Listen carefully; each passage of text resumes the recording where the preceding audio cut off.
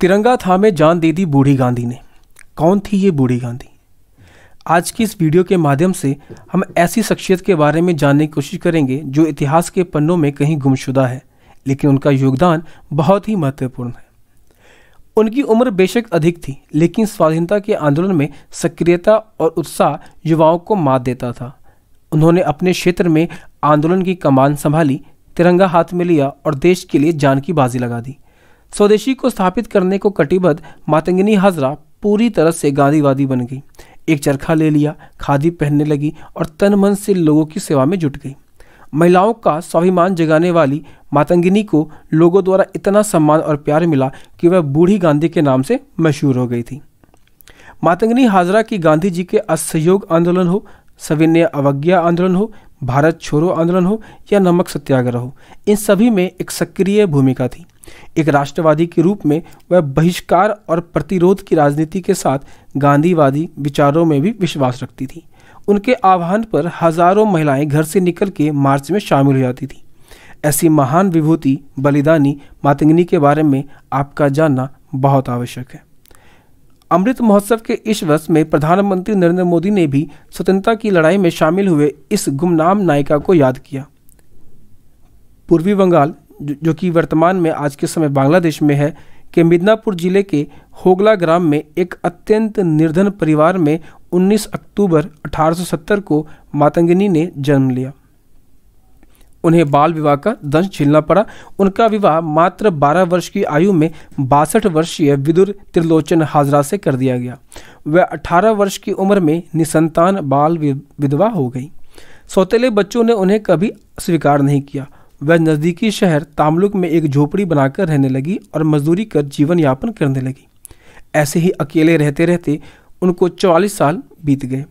अपने गाँव और घर के बाहर की ज़िंदगी के अलावा उनके जीवन में कुछ ना था।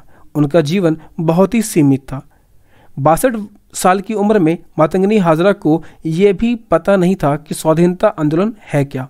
लेकिन जब उन्हें अंग्रेज़ी हुकूमत का अत्याचार दिखा और लोगों ने गांधी जी के बारे में बताया तो वो इस ओर अग्रसर हुई। वर्ष 1932 में जब एक दिन वंदे मातरम का उद्घोष करते हुए सविन्य अवज्ञा आंदोलन का एक जुलूस उनके घर के पास से निकला तो बासठ साल की मातंगिनी ने बांग्ला परंपरा के अनुसार शंख ध्वनि से उनका स्वागत किया और जुलूस के साथ चल दी। तामलुक के कृष्णगंज बाज़ार में हुई एक सभा में मातंगनी ने सबके साथ स्वाधीनता के संग्राम में तन मन धन से संघर्ष करने की शपथ ली। उन्होंने नमक बनाकर नमक विरोधी कानून भी तोड़ा। गिरफ़्तार हुई और कई किलोमीटर तक नंगे पैर चलने की सजा भी काटी। अनपर मातंगनी पर जल्द ही देशभक्ति का रंग पूरी तरीके से चढ़ गया था। उनका अपना कोई परिवार नहीं था तो वह दुख दर्द में हर महिला की सहायता करने लगी। उसी वक्त इलाके में चेचक, हैजा जैसी बीमारियाँ भी फैल रही थी। बिना बच्चों वाली मातंगनी सबके लिए माँ बन गई और महिलाओं को स्वाधीनता आंदोलन के बारे में बताने और जोड़ने के काम में लग गई। धीरे धीरे अन्य महिलाएँ भी उनके साथ प्रदर्शन में हिस्सा लेने लगी। जनवरी 1933 में करबंदी आंदोलन को दबाने के लिए बंगाल के तत्कालीन गवर्नर एंडरसन तामलुक आए तो उनके विरोध में प्रदर्शन हुआ। वीरांगना मातंगनी हाजरा सबसे आगे काला झंडा लेकर डटी रही। वह ब्रिटिश शासन के विरोध में नारा लगाने लगी। इस पर पुलिस ने उन्हें गिरफ़्तार कर लिया और छः माह तक सश्रम कारावास देकर मुर्शिदाबाद जेल में बंद कर दिया। जेल में वह अन्य गांधीवादी के संपर्क में आ गई।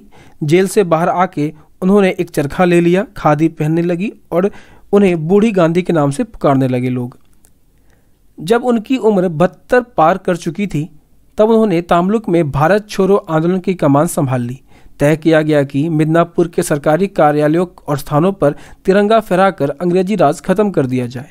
सितंबर 1942 में एक दिन बड़ा जुलूस तामलुक की कचहरी और पुलिस लाइन पर कब्जा करने के लिए आगे बढ़ा। इस जुलूस में ज़्यादातर महिलाएँ स्वयंसेवक थीं, जिनका नेतृत्व मातंगनी ने किया। लेकिन जैसे ही जुलूस आगे बढ़ा, अंग्रेज़ी सेना ने बंदूकें तान ली और प्रदर्शनकारियों को रुक जाने का आदेश दिया, जिससे जुलूस में खलबली मच गई। ठीक इसी समय जुलूस के बीच से निकलकर मातंगनी सबसे आगे आ गई।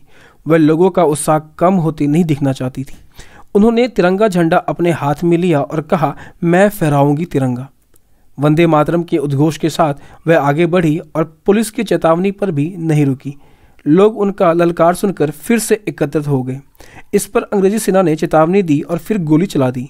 पहली गोली मातंगनी के पैर में लगी। फिर भी वो आगे बढ़ती गई तो उनके हाथ को निशाना बनाया गया।